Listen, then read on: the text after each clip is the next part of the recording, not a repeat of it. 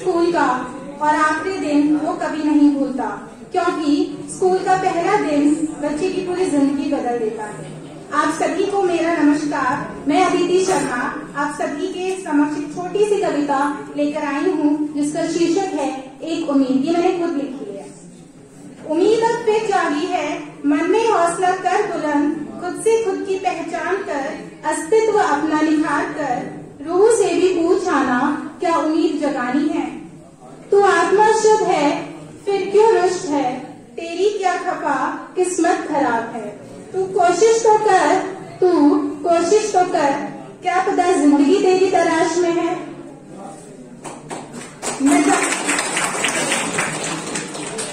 न जाने क्यों बार बार वही लम्हे, वही अफसाने याद आते हैं, जिन्हें भुला दिया था मैंने, उस वक्त ही जब मैंने अपने को अपने से अलग महसूस किया था।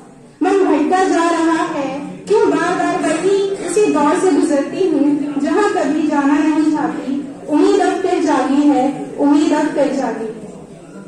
सोचा कुछ था, हो कुछ और रहा है। अब वो रात भी अच्छी नहीं लगती, जिस रात के इंतज़ार में मैंने सुबह को ठोकर दी थी। उम्मीद अब फिर जागी है, उम्मीद अब फिर जागी है। मन में हौसला कर बुलंद खुद से खुद की पहचान कर, अस्तित्व अपना निखार कर रूह से भी पूछ आना, क्या उम्मीद जगानी है?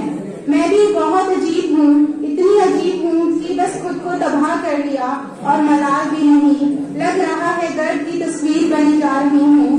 पता है मुझे कि ज़िंदगी अभी और है, मगर अब जीने की उम्मीद छोड़ दी। बोलती तो मैं पहले से ही बहुत कम थी, अब वो भी नहीं। उम्मीद खुद से बस इतनी है, अब खुद में खुद की पहचान बनानी आत्मा है, फिर क्यों रुष्ट है? तेरी क्या खपा किस्मत खराब है? तू कोशिश तो कर, क्या पता ज़िंदगी तेरी तलाश में है? उम्मीद अब फिर जागी है।